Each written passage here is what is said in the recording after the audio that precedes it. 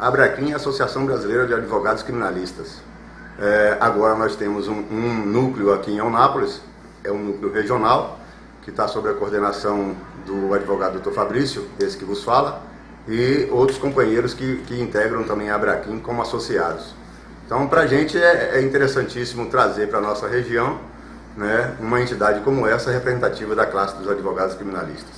Recentemente, em é, é, em apoio a uma pretensão da OAB subseção Eunápolis, a, a qual tem como presidente o Dr. Alex Ornelas, nós da Abracrim nos unimos à, à OAB Eunápolis e promovemos a palestra aqui do, do advogado renomado, um criminalista renomado, o advogado Cacai, né, que teve aqui a semana passada, dia 14, fazendo uma palestra divulgando um pouco do trabalho do advogado criminalista e também trazendo informações relevantes para a advocacia de toda a Eunápolis e região.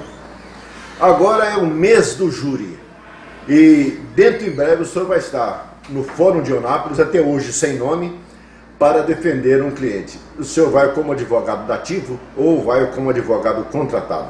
No mês de, de júri, como você bem frisou, eu fui é, intimado para participar de quatro sessões no Tribunal do Júri uma como advogado constituído e três como advogado dativo. É, e as sessões serão dia 25, 23, 24, 22, 23, que é quinta e sexta-feira, segunda-feira, dia 26, e no dia 30, encerrando o mês do, do júri, com mais uma sessão do tribunal, participando ativamente em quatro sessões, representando três de forma dativa e um como advogado constituído. Ô Paulo, você me fez uma pergunta interessante com relação à nomeação para fazer as sessões no Tribunal do Júri, defendendo os acusados como dativos. Eu digo interessante porque o Estado, Tribunal de Justiça do Estado da Bahia, ele tem, ele, ele tem uma, uma dinâmica, uma política de nomeação de advogados para dativos para, para atuarem no Tribunal do Júri e que não são remunerados, na maioria das vezes não são remunerados. Em algumas das vezes, quando o Estado é condenado pelo juízo e tem que haver todo um processo né, para que essa pessoa, algum dia, esse colega possa algum dia é, receber esses honorários. Em contrapartida, o Estado é omisso, é omisso quando deve agir de ofício. A exemplo, eu quero fazer uma citação aqui que talvez destoa do que nós estamos conversando, mas importantíssimo para a advocacia e para a cidadania napolitana.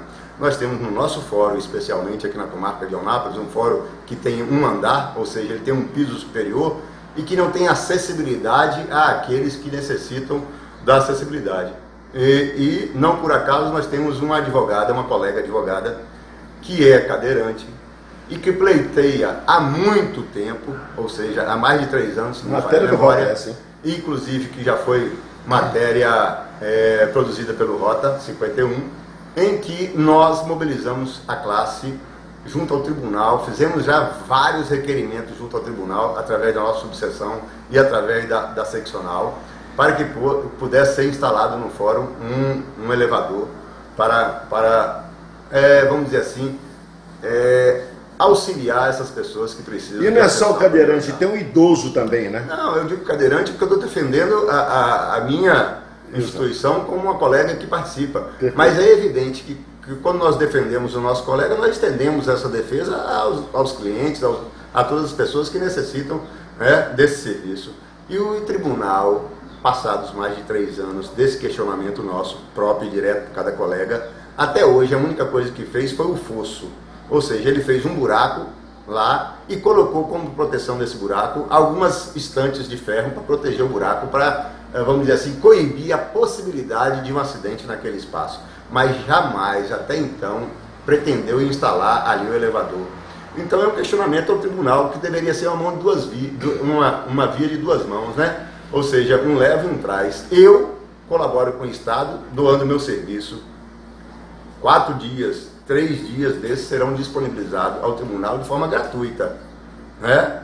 De forma gratuita. E você sabe muito bem que tem toda uma preparação para um júri desse. Não é só os três dias que você estará lá disponível.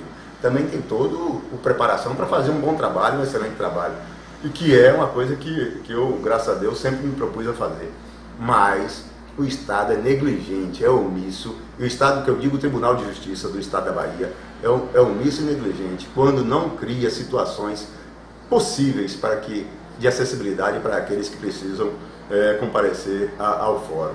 Então eu, sinceramente, deixo aqui essa ressalva, aproveitando a oportunidade que nós estamos falando de, de justiça né, e de atuação no judiciário, dizer que nós precisamos muito, muito de representantes autênticos que lutem pelos interesses da coletividade, não da pessoalidade.